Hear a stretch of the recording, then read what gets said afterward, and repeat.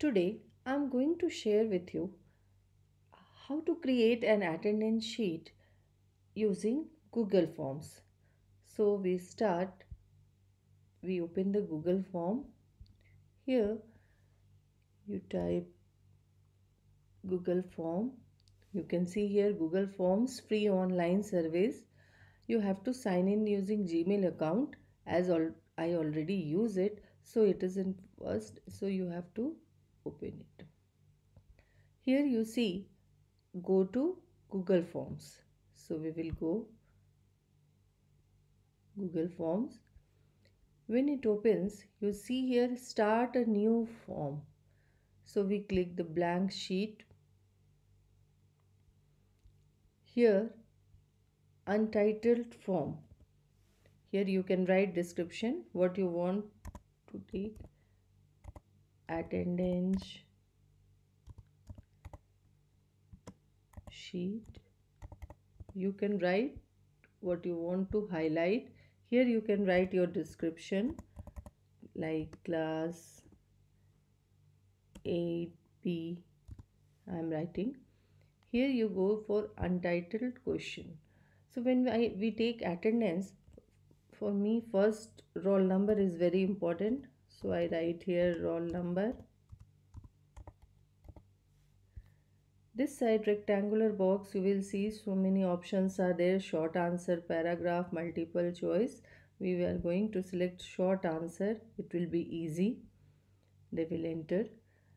Here required. Required we will join so unless they will submit it they will enter here. Form can't be submitted now I add more. Here we I write first name.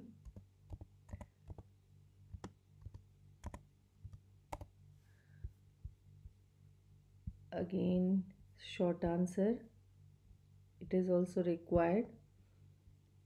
This side I go add one more question.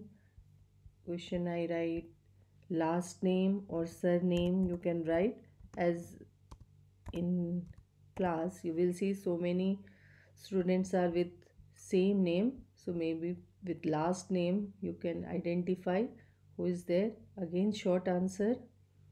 Short answer is already there required and in attendance we need only this much information. Now we go for setting.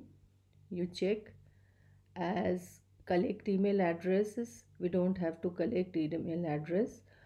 And limit to one response also we will not do because they we can reuse it. And edit after submit they can't edit they won't be able to so we will not do anything here.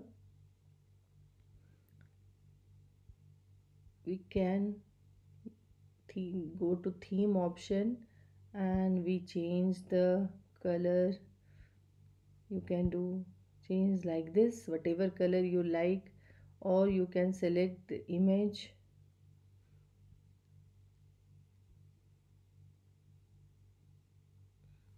Some images are already there like work at school related to theme. So I click insert this way you can change the theme. It will take time to create. Now you see according to you attendance sheet is ready. Now we can see preview also. Your is there whenever they will write roll number first name last name and they will submit automatically.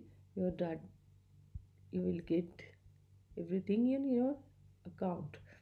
Now one more thing we have to do that we go how the response sheet here this side you will see create spreadsheet. We will click it. This we will change according to your name of the class or 8b suppose I have written. Create. You will see an excel sheet will open in excel sheet you can use all the you can sort out. According to roll number you can arrange it. You can add the borders here. Suppose I select here. You can add borders. You can change the width also.